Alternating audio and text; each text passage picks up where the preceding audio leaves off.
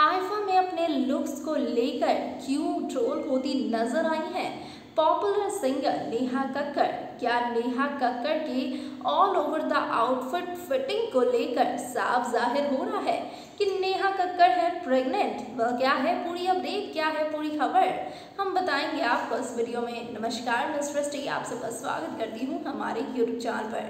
Well आपको बता दूँ कि पॉपुलर सिंगर नेहा कक्कर जब से रोहन प्रीत से शादी की है, तब से लगातार कई बार सुर्खियों में आ चुकी है अपने प्रेगनेंसी को लेकर।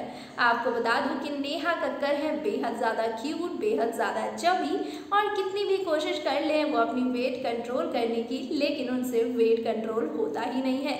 जी हाँ इसी कारण से कई बार नेहा कक्कर को फैंस प्रेग्नेंट बता देते हैं। इस बीच आपको बता दूँ कि जहाँ अबू धाबी में आईफा अवार्ड्स चल रहा है और इस दौरान नेहा कक्कर पहुँची हैं अपने हबी, यानी रोहन प्रीत सिंह के साथ। पर नेहा कक्कड़ ने बेहद ही खूबसूरत सा आउटफिट वेयर किया है, जो कि रेड कलर का सिमरी हाई स्लिट ड्रेस है, जिसमें कि नेहा कक्कड़ बेहद ही ज़्यादा स्टनिंग और खूबसूरत लग रही हैं।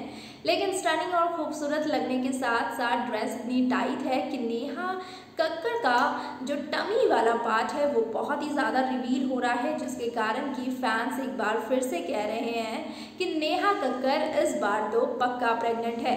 वेल इसके साथ साथ सिर्फ़ प्रेगनेंसी को लेकर ही नहीं, बल्कि नेहा कक्कर के इतने टाइट फिटिंग ड्रेस को लेकर भी फैंस ट्रोल कर रहे हैं कि नेहा को उनके बॉडी पर लूज कपड़े ही पहनने चाहिए क्योंकि लूज में वो बेहद क्यूट लगती है।